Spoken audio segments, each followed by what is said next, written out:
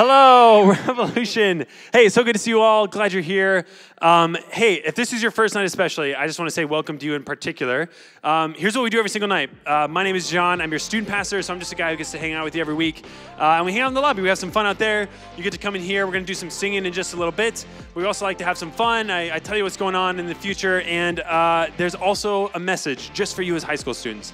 So it talks about things that you're thinking about, wondering about, uh, and then we head out into small groups. And small groups are really the best thing we do here. It's a group of people who you can ask questions to and, and make friends with and, and all those sort of things. So if you're new, you're not in a small group, it's really easy to get in one. And again, it's the best thing we do. So I, I really encourage you to do it. You just head out these doors, there's a table with some adults out there, they'll get you connected, and then you're ready to go. So that's it. That's easy enough. Uh, but here's what we're gonna do tonight. Usually we do something called a stage game at this point. We'd have some fun. Uh, tonight is going to look a little different. We're going to have extended worship. So we're taking out the game tonight. We're adding in a little extra worship, but we still got to do one shot. All right, we still got to do one shot because I want to give away some money, uh, and so I need a volunteer. And while you're raising your hands, check out this video to see what one shot is all about.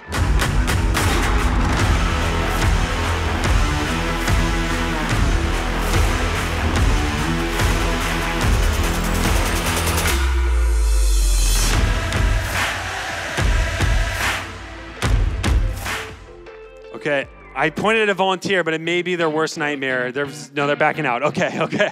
No worries. Um, who, who wants to do it? Who's One feeling shot. one shot? Who's feeling one shot? Um, some people really want him to do it. Some people don't want him to. I'm here for the controversy of the crowd. Okay, fastest hand in the room. We're gonna go fastest hand in the room then. Come on up, Oscar. Come on up. Here's what happens every single week. Usually the winner of the stage game gets to take one shot. Tonight it's Oscar just because he's quick on the draw, but he gets to make this one shot. If he gets it, he gets a $15 gift card to Chick-fil-A. If it misses, goes up next week and we try again. It's Oscar. Oh, wow. So, honestly, so close. That was a great shot. Okay. Well, hey, well done, Oscar. Uh, well done, Oscar. I, I appreciate your, your attempt. That was better than many of the shots we've seen this week, this month, this year. Um, okay. Hey, Revolution, two quick things for you. Again, we're not doing a game tonight. Um, we're about to enter into worship in a little bit, but the first is Rev Event is already up on the website. You can sign up for it now. And the first 100 people who sign up, you get a discount, uh, discounted price, and you get a Rev T-shirt, a Rev Event T-shirt. And we do a really hard, like we work really hard to make sure the T-shirts are cool, something you'd actually want to wear. And there's only 100 of them, and there's like 78 people signed up right now. So if you want one of those shirts, if you want to be one of the people who signs up, gets a gets it for less money, gets a shirt, you got to like do it tonight because probably the other student pastors are telling their campus these things. Uh, but the Rev Event, if you sign up now, you're saying, hey, I'm committing to it on my calendar. When my friends say, hey, what are you doing on the 21st? You're like, I've already got something on it. Or when your boss at work says, hey, can you work on the 21st? You say, nope, not not gonna work for you. Whatever you say to your boss, I don't know. Say say to your boss what you'll say to your boss, but don't go on the 21st because you're gonna be at a Rev event. But sign up now. You're gonna get a T-shirt and you're essentially putting it on your calendar, saying this is a priority. I want to be there, and everything else is gonna get pushed off to the side so I can make it work. Uh, okay, and this is this is uh, Jon with a pastoral encouragement for a second. Um, and I don't get to do these super often, but. Uh, just so you know, tonight we're talking about um, guilt and shame, and, and the message you'll get to hear in a little bit. Um, but I just want to read a verse from the Bible. It's, it's James 5:16, and James 5:16 says, "Therefore confess your sins to each other and pray for each other, so that you may be healed. The prayer of a righteous person is powerful and effective." Uh, and so, what I want you to know is we confess our sins to God. And the word confess just means tell the truth. When you confess, you're just telling the truth. So, we confess our sins to God to be forgiven, and God can help heal us. But we confess our sins to each other, to other people, so that we can be healed. And so, tonight, uh, if, you, if you are carrying something heavy, uh, if, if you have uh, something that is like, man, I'm, I'm really afraid to tell somebody about this. Like if you're if you're struggling with a, an addiction to pornography, if you have thoughts about self-harm, if you are living a false life and you're telling people you're one person at, at church or at home and you're a different person elsewhere, uh, I want to just encourage you tonight. Like, can I, as someone who cares about you, can I encourage you to to tell somebody tonight in your group? Whether that's a leader or whether that's one of the other students, like Jesus asked this question to, to the man laying by the pool of Bethesda. Uh, he says, Do you want to get well? This guy who had been sick his whole life. He says, Do you want to get well? he asked that, that man that question. And so I want to ask you that same question tonight on behalf of Jesus. Like, do you want to get well? That heavy thing that you're carrying, uh, there is healing from it, but healing comes in confession and community. And so be bold tonight. It's scary. It's going to come at a cost. To share things that that are are hidden is always scary and it's hurtful and it's it's like tough to bring it out. To say like, man, can I trust people with this? Like, what are they going to think of me? Like, how is this going to go? Are my parents going to know? What's going to happen after this? All those thoughts are going to come up. But man, do you want to get well? Because I want you to get well, and Jesus wants you to get well, and there is healing. And so my encouragement tonight is community is the place you find that. Your small group, your small group leaders is the place that you find that tonight. And so be bold, even when it's really scary, even when you think, man, I don't know if I can trust this. Like, please be bold tonight because on the other side of that pain is healing and it's worth it, okay? Uh, hey, I, I just want to say too, as your pastor, uh, I really care about each of each one of you. Um, I don't know all of you. I wish I could, uh, but as someone who doesn't even know you, like this is a place I've committed my life to. Like you are the people I've committed my life to, and so if you need at least a friend to talk to about this stuff, like I care about you unconditionally. No judgment from me. Um, like nothing. No. No. Uh, just feel free anytime to come talk to me. Ask ask me to pray for you. I'd love to. I would listen to anything you want to tell me. Like just know that. But you've got awesome small group leaders, you've got awesome people in your groups. Um, and on the other side of, of confession is healing. It's worth it. It's scary, but it's worth it. Uh, trust me. And so, okay, with that, Rev, that's my pastoral encouragement. Care about you guys a lot. Um, so if now, if you'll stand up for me, we're going to enter into a time of worship. Uh, and right now, we just get to worship the one uh, who does that healing uh, Jesus, the person who uh, heals us and loves us. And so we're going to worship him for who he is and what he's done. I'm going to turn over to KJ and Madison. Thank you. Yeah, thanks, Jon. That was good. Good stuff. Hey, Rev, how are we doing tonight? These girls are so good. How is everybody else? Good? I'm not getting any answers, you guys. We're here together. It's going to be so fun. I need your participation. I need it. All right, we're gonna spend some time singing together. Uh, this is KJ. You all know KJ. Everyone always asks me where KJ is, so you already know him. I don't need to introduce him. Um, my name's Madison. I don't know what's going on over here. Also, we want to welcome our friends watching over um, at Wayzata and Rochester and online. We love you guys. We wish you were here in the room with us. All right. This is all a really great place, a place to grow and to um, learn about Jesus more. But this is a place we can have fun too. All right. So, can I get every hand in the air? Like this. Come on. I know you guys can do that. Easy, easy peasy. Come on. Let's sing. Here we go.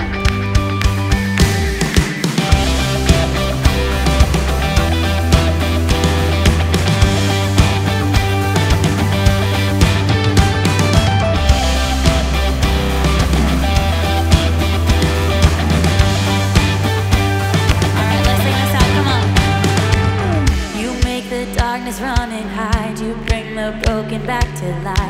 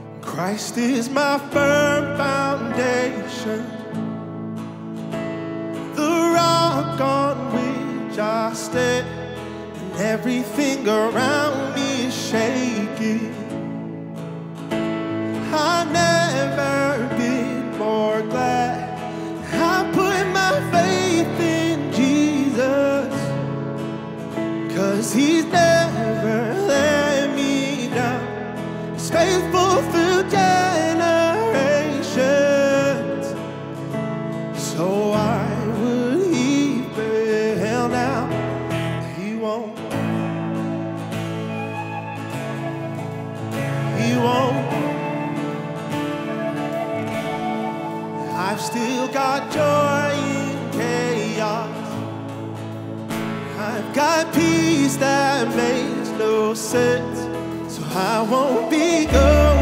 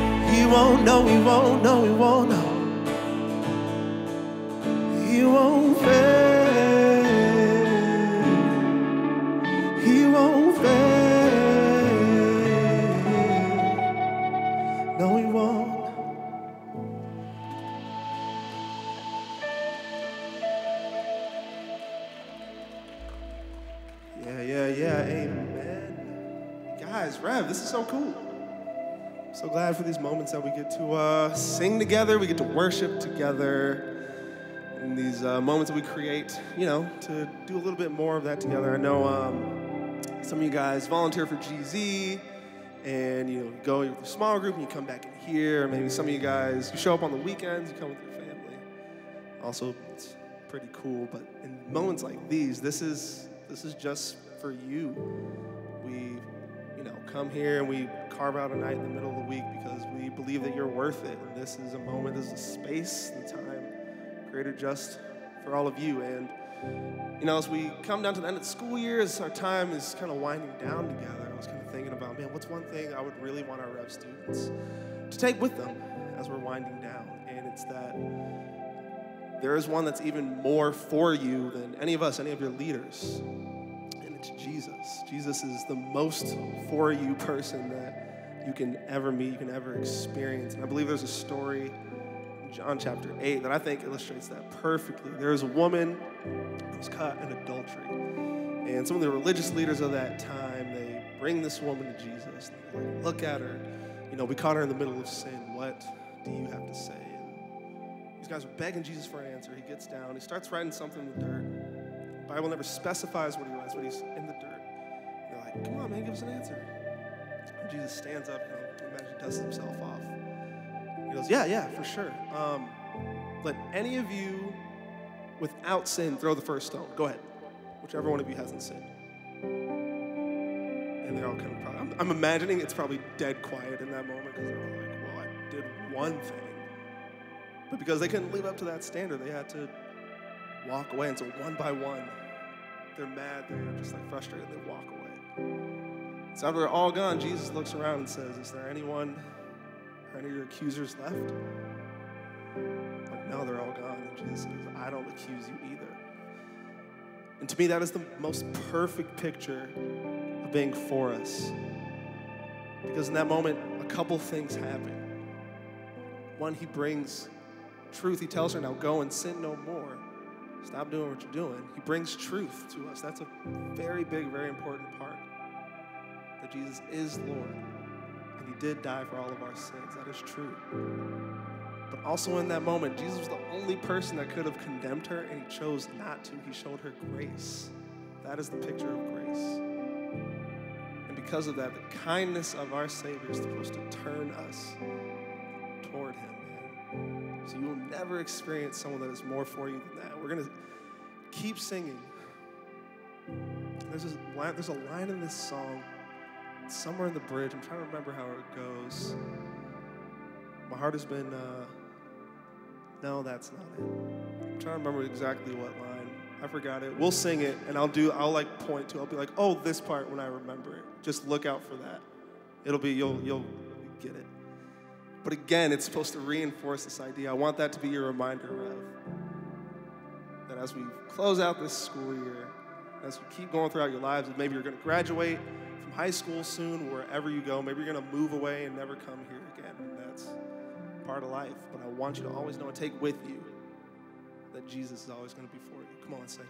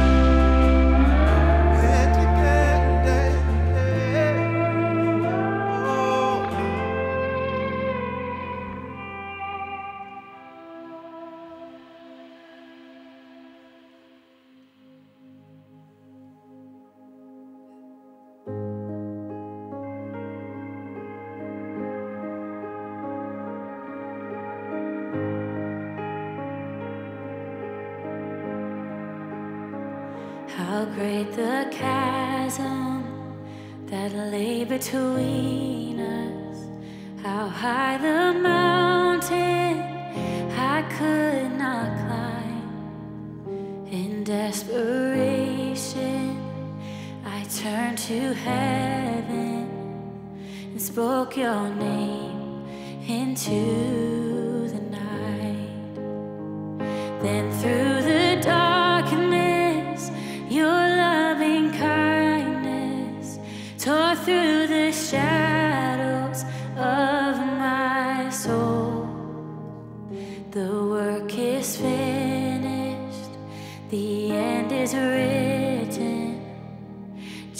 is Christ, my lips.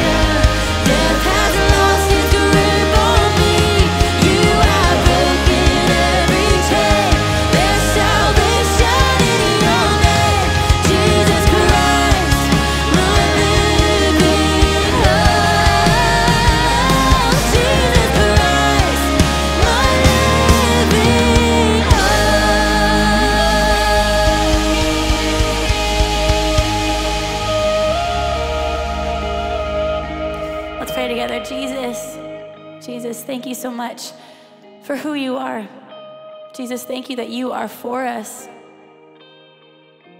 Jesus, when you are for us, nothing and no one can be against us.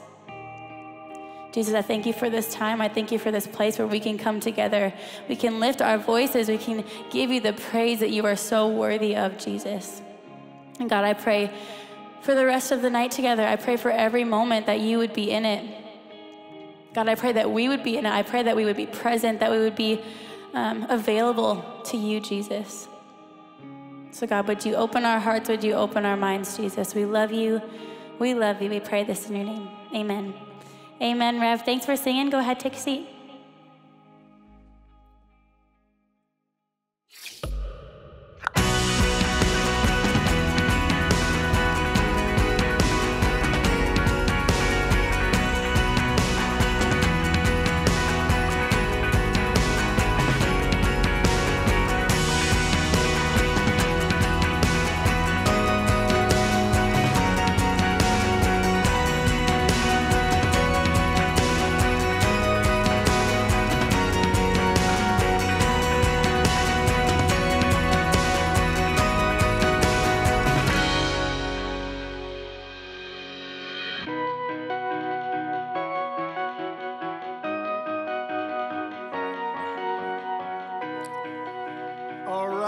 What's up, Revolution? My name is Jon, one of the pastors here. We are in week two of our series, The Me You Don't See.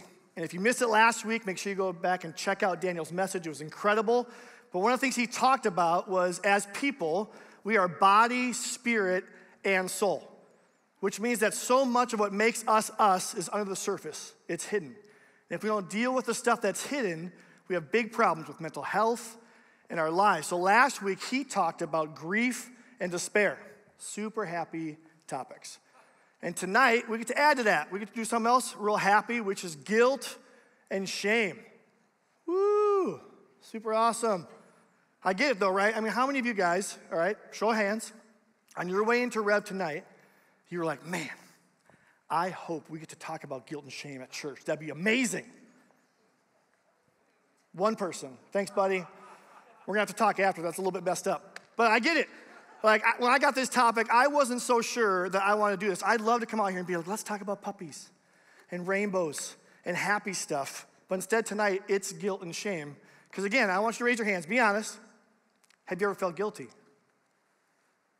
Raise your hand. Have you ever felt guilty? You ever done something you're ashamed of? Said something you regret? If you don't have your hand up, you are lying. So we've all felt that. We all feel guilt and shame in our life. It's universal. And that's why we got to talk about it tonight. That's why we got to talk about it this week. Okay, so for me, this happened just this past week. I was at home. It's in the afternoon. I was all alone. I'm like, I'm all alone. You know what I'm going to do? I'm to go to McDonald's. Now, this might not seem like a big deal, but my wife hates McDonald's. She talks about cholesterol and heart disease, all these things I don't even think are true, but I love myself some McDonald's. And so there's nothing better at 2 p.m. than a quarter pounder with cheese, french fries, and a shake. That's my go to afternoon snack. Now, I already had lunch, but I was, again, I was alone. I'm like, I know she doesn't want this, but I'm gonna go to McDonald's. So I go to McDonald's, I bring it back, I enjoy it, it tastes amazing. But at the end, I got all the trash, got the bag, and I'm like, what am I gonna do with this? I don't want my wife to know. So I'm like, I'm not gonna put it in the kitchen trash can. I'm gonna go outside and put it in the outside trash can. So I put it out there, and I'm like, well, what if she op- opens up that thing? And sees? So then I start covering it with leaves and sticks, and I cover it with other trash just to make sure that she does not know I went to McDonald's in the afternoon. I kid you not, that's what I did last week. Now, my wife is a Rev small group leader at Blaine, so she is seeing this right now. I just want to say, I love you, babe. Sorry about that. We'll talk about that later. But, like, you ever done that? I mean, not with McDonald's, but did you ever hide your browser history? Did you ever erase some text messages? Did you ever lie about something and then you lied again cover up that lie? Because we've all dealt with this. Now, recent studies show that shame is the underlying condition for a ton of bad stuff. It's the number one underlying condition for addiction, for depression, for eating disorders, for emotional outbursts, for intrusive thoughts, these thoughts that get stuck in our mind, and suicidal ideation. So we need to talk about it because we all feel guilt and shame in our lives. Now, the problem is we often use those words interchangeably. We're like guilt, shame, shame, guilt, they both mean the same thing, but they actually mean very different things. It's important we know how different they are. So, check this out. So, when we do something wrong, we feel guilt. And what guilt does is goes, man, I did something bad. What shame does is, I am bad. Because what guilt is focusing on, it's focusing on our behavior. But shame, It attacks our identity. So when you feel guilty, you're like, oh man, I lied. What shame wants to say is like, you're a liar. Like, guilt is, oh man, I can't believe I cheated. And shame's like, you're a cheater. Guilt is, man, I made a mistake. I'm sorry I made a mistake. Shame is like, you're a mistake. So it takes what we did wrong and it makes it personal. But with guilt, because it focuses on behavior, it leads to some great stuff. It leads to repentance. It leads to be able to say, man, I'm sorry. That was my bad. It leads to changing your behavior. Man, I'm going to try to do better next time. I'll try not to say that again. I'll try not to do that again. It actually leads us to closer relationships. Like, there's a lot of good stuff that comes out of guilt. But shame, because it attacks our identity, it makes us want to withdraw from the world. And it leads to hiding and discouragement and isolation. So they're very different things. So when we think of them as the same thing, we want to avoid all of this. But we miss out on some of the great things that guilt provides. Because here's the truth I want you to know guilt is a gift. Guilt is a gift. You might not believe that, but it's true. And if we can lean into the gift of guilt, some great things can happen in our lives. But if we try to avoid it, then we miss all that great stuff. Because again, maybe never thought about that that way. It's not the best gift, it's not the one we're super excited to open up. But often what happens with guilt is we run away from it, and then it turns into shame. But think of all that good stuff. Think about how it leads to repentance. Think of how it leads to closer relationships. Think of how it can lead to growing your life, to actually advancing in the world in some real ways. That's the gift of guilt. Now, here's a picture of my son. I'm going to show you him. That's Crosby. He's my youngest. You should say, like, oh. Yeah, he's super cute. Look at that kid. He's got Legos. Look at that smile, those big, beautiful brown eyes. He's a great little kid most of the time. But sometimes, like just a few days ago when I came home and he was saying to his sister, I hate you. You're the worst sister. I wish you were never born. I don't even want you in this family. I'm like, this sweet boy is saying those things. So I get home, I know he said these things, and where is he? He's hiding. He's hiding in his room. Now, to his credit, he comes out. He comes out of his room and he's got tears in his eyes. He's like, Dad, I'm so sorry. Like, I shouldn't have said those things. I was mad. I lost my temper. He gives me this big, huge hug. And of course, I'm like, Man, I forgive you, buddy. You need to go talk to your sister. so he does that. Same thing, tears in his eyes. He's like, Sydney, I'm sorry. Like, do you forgive me? Like, they hug it out. And they like go on the trampoline and have, like, have a ton of fun playing together. Because that's what happens so much if we let guilt actually motivate us to repentance. If we actually see it as a gift, we actually engage in the world around us. Like for my wife and I, when I mess up, which is a lot of times, like when I am tender and honest with my wife, I'm like, man, babe, I am sorry. Like that leads to closeness. That leads to some makeup, makeout or whatever. You know, hey, I'm married, so it's fine for us. But it's amazing how that happens. Like you move forward in life. Like instead of becoming more isolated and hiding, if I embrace the guilt as a gift and I'm willing to take a step forward, like God uses that in some incredible ways. And the same is true for you. Shame, man, shame is a different story. So that's why we have to see them as different. Because shame, it can sometimes start as guilt, but this is what the deal is with shame shame destroys us. Shame destroys us. Shame takes guilt, something we feel bad about. Maybe you said something you regret, but you didn't bring it to God. You didn't ask for forgiveness. You started to avoid it, and it quickly gets distorted into shame. And remember, shame makes it personal, and it doesn't stop. That's why shame destroys us. That's why it's so bad, because it keeps dragging us down. I was a swimmer in college. I know that's hard to believe, but I was a swimmer in college. And one of the drills that we did is we would go to the deep end of the pool and we would start treading water. And then we would have to hold a 25 pound weight over our heads as we were treading water. So you couldn't use your arms. It was a way to work on your kick. So you're in the deep end of the pool, coach starts a timer, and you're treading water with your legs, holding this 25 pound weight, and you're lasting as long as you can because you want to win. You want those other people to, to sink before you do. So you're doing that, but you have to get tired with that weight, and you're starting to like breathe out of the corner of your mouth as long as you can. And then whenever you have to, you just chuck the weight down, swim to the side, and catch your breath. So that's like shame, except worse. Because what shame does, like you're treading water, You feel bad about something you did, and then shame just keeps piling on more and more weight. Shame, bad feelings, avoidance, more shame, more bad feelings, more avoidance, more shame, and you drown. Shame wants to drown you every time. You ever felt that? You messed up, you didn't own it, you just kind of hid it, hoping it'd go away, but it gnaws at you. It makes you feel stuck, makes you feel alone. That's shame. That's what shame does. And what sucks about shame is that sometimes it starts as guilt. Sometimes it starts because we did something wrong. We don't deal with guilt as a gift, so it starts to turn into shame in our life. But sometimes we can feel shame because of what someone else says about us. We can feel shame about what someone else does to us. It actually has nothing to do with us. We're a total victim to someone else's thing, but we start to feel shame and it begins to take root in our lives. All right, here's a picture of me. Look at that kid. That's me in elementary school. You should also be like, oh, what a cute kid. Thanks, guys. Thanks for the four of you that did that. But here's the deal. Like, when I was a little kid, like I was the smallest kid in my class. Like I didn't hit a growth spurt till about senior year of high school.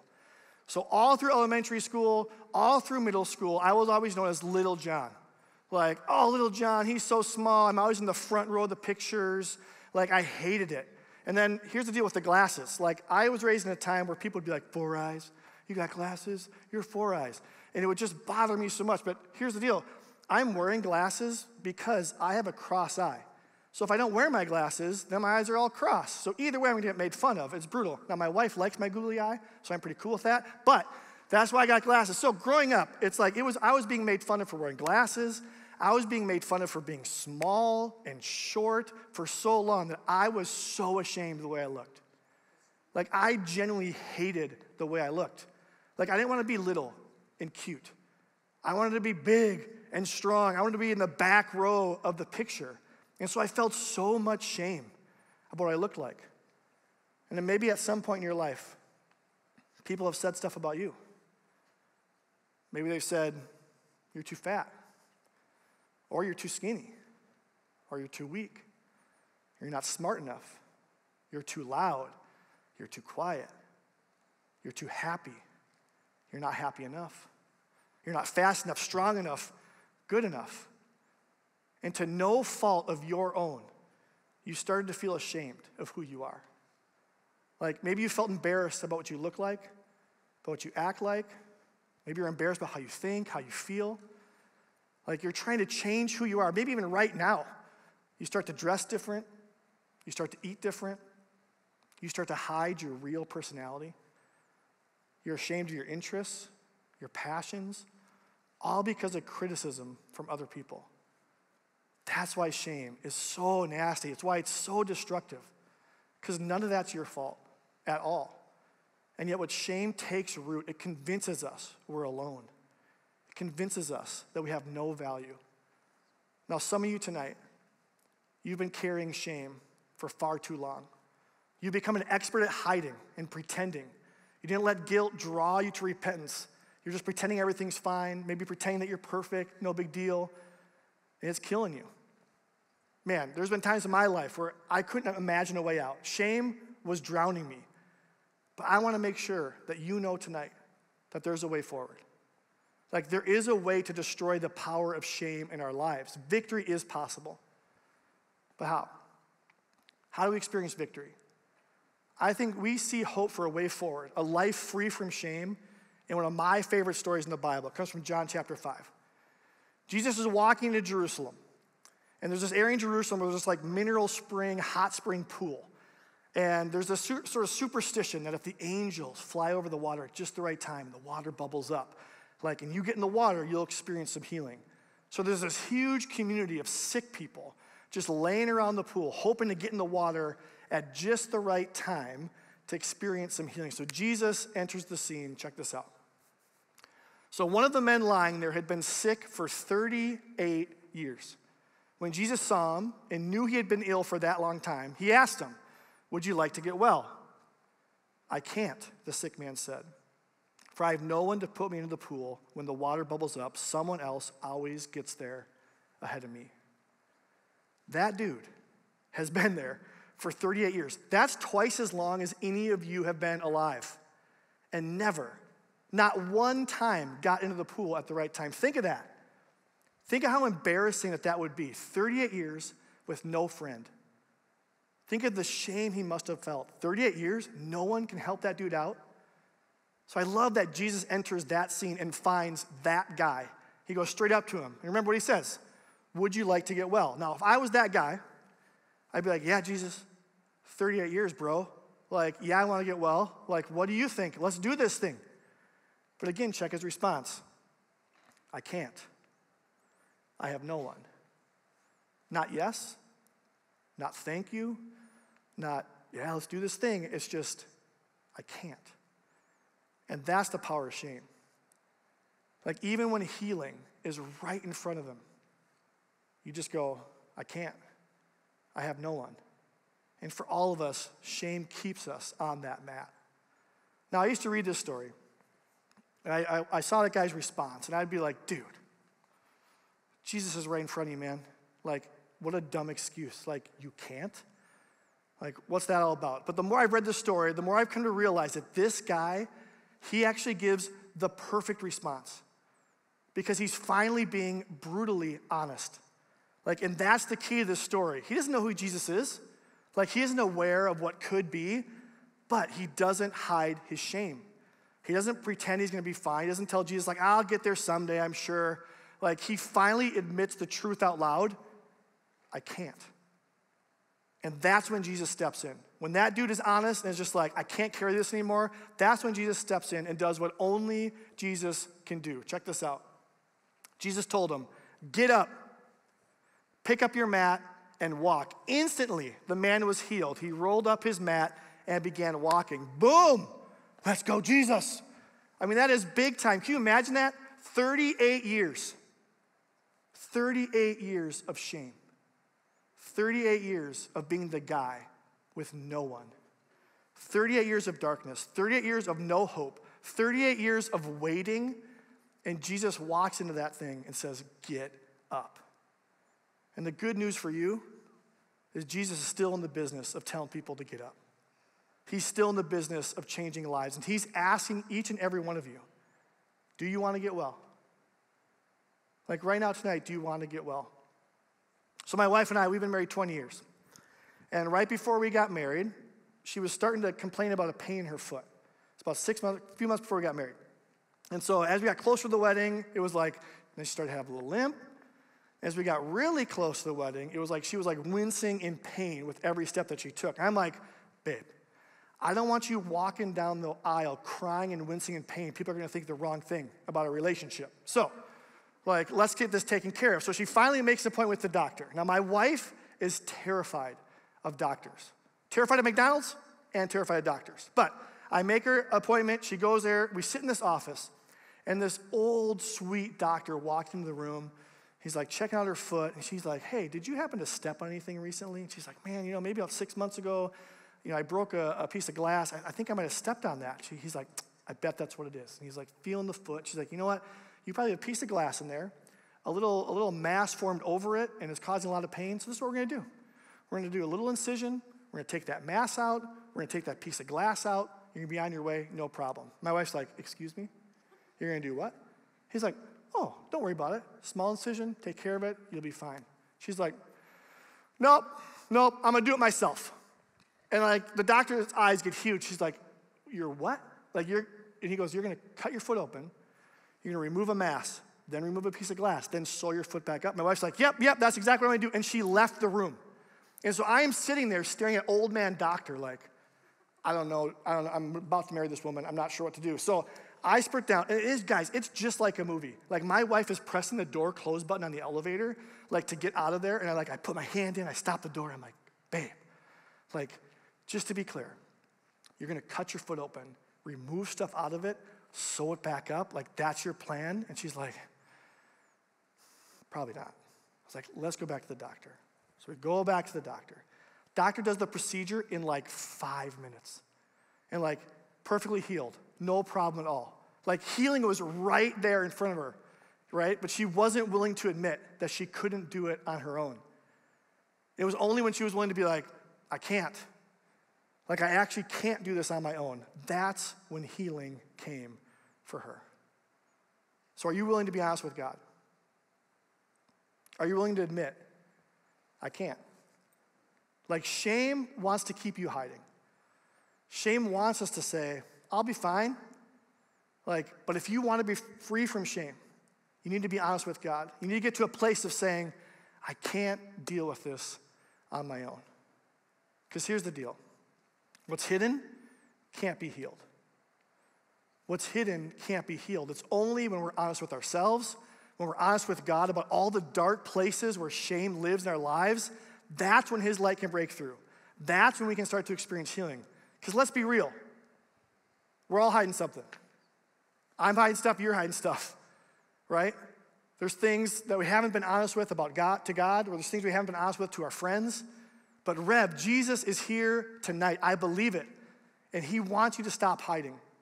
He wants to provide healing. He wants you to get up off that mat of shame and walk. Now, it's not going to be easy. It's not going to be easy to be honest. Like maybe the shame you're carrying, maybe it's around the way you feel about your body, the way you look. Maybe you're carrying shame right now because you know that you're cutting yourself. You're dealing with self harm. Maybe you're carrying shame around pornography. I mean, man, that's a big one. Like, I want to be honest, that was, that was a big one for me coming out of college. Like, I was stuck, and I was so ashamed. I was convinced I was alone. I was afraid to tell anyone. I pretended for a while, like, ah, it's no big deal. But the truth is, I was hiding. And I had great Christian friends. I had so many chances in college and afterwards to be honest, to share, but I didn't. I was so embarrassed. And here's the deal being a Christian, it actually doesn't make it easier to deal with shame. I actually think it makes it tougher because I wanted to keep up my image as like the good Christian guy who would never struggle with stuff like that. And it wasn't until I finally had the courage to be honest with God, to be like, God, I can't. Like, I can't handle this on my own. I can't deal with this on my own. When I was honest with my friends, when I was honest with my pastor, like that's when breakthrough started to happen in my life. Maybe for some of you, you're medicating your shame right now. You're medicating it with drinking, with smoking pot, with hooking up, with cheating, with lying. You know you're pretending to be someone that you aren't. And maybe you can't imagine that God could handle what you need to share with Him, but He can. He comes through every time. But shame wants to keep you paralyzed on that mat. But remember, Jesus tells that guy to get up. And he's saying the same thing to you. He's saying the same thing to you. He wants you to experience the miracle of new life. What's incredible about that story is that when Jesus tells that guy to get up, that's the same word that's used to describe Easter morning when they talk about Jesus getting up out of that grave. So, what Jesus is saying to that guy is so much more than just physically get up and walk. He's telling that guy to experience new life, to experience what it means to go from death to life, to experience freedom for the first time, from darkness to light. That's what Jesus is saying to that guy, and that's what Jesus is saying to you. So, tonight, Rev, I want you to take two steps of faith to break the power of shame in your life, to get off that mat. First thing, tell God, I can't. Be honest with Him. Stop pretending. Be like, God, I can't handle this addiction. God, I, I can't deal with these feelings. God, I can't, I can't keep hiding anymore. Like, trust Him. He can handle whatever you throw at Him. Be honest with Him and start to experience the healing that only He gives. Second thing is, tell someone you trust. Like, go to God first but then go to someone you trust. Not everybody can handle this. Don't go to everybody, don't post this on something. Just go to someone you trust. Maybe your small group leader, maybe student pastor, maybe a wise, trustworthy friend. Stop the isolation. Remember, what's hidden can't be healed. So you got to have some courage. You got to be willing to share. You got to be willing to go there with God and with the people that you trust. Rev, some of you tonight, I believe you're going to hear from Jesus get up. Stop hiding. So let Jesus destroy the power of shame in your life. Experience that power of Easter morning. New life, walking in freedom, stepping forward, getting out of darkness into light. I believe that this night could change your life. This night could be the night that you break free from shame. So get up off that mat and walk out of this place a different person. Let's pray. Father, thank you. Thank you that you sent your son Jesus and he defeated sin and death. He defeated the power and grip of shame so that we can experience freedom and life. So, Lord Jesus, for every single one of us that are hiding, God, give us the courage to be honest with you. Give us the courage to be willing to say, God, I just can't anymore.